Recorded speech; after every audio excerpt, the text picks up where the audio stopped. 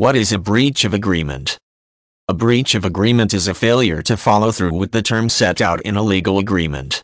This civil wrong is also known as a breach of contract.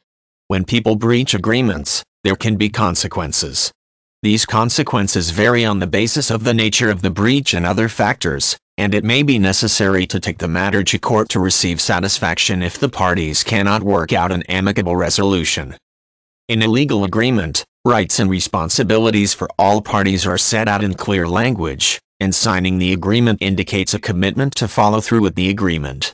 For example, a homeowner and a roofing contractor could enter an agreement for a contractor to re-roof the home with materials specified in the contract, and the homeowner agreeing to pay for the service.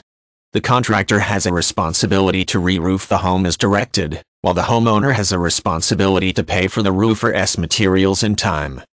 In a breach of agreement, one or more of the parties involved fails to honor the agreement. To continue the roofing example, the contractor could use green roofing tiles instead of blue ones as specified in the contract, and this would be a breach. The contractor could also fail to roof the home at all, or not complete the job. Likewise, the homeowner could decline to pay. For all of these breaches, the party wrong could recover damages, such as the costs for having another contractor complete an unfinished job.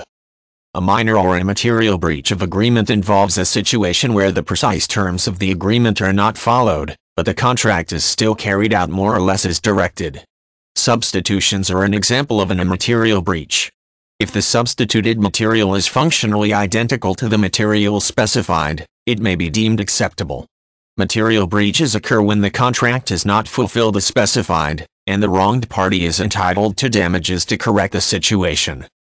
Anticipatory breaches occur when it becomes evident that one party will not be meeting an agreement, allowing the other to terminate without penalty.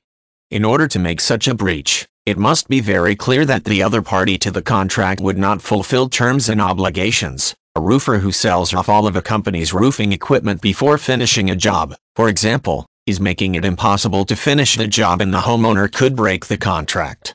Finally, fundamental breaches are breaches that entitle the other party or parties in the contract to terminate it immediately because the breach is so serious. If a breach of agreement is likely to occur or is occurring, it is advisable to consult a lawyer to discuss next steps and the appropriate action to take. A specialist in contract law can review the terms of the agreement, determine the severity of a breach of agreement, and prepare to address the matter in a private settlement or in court.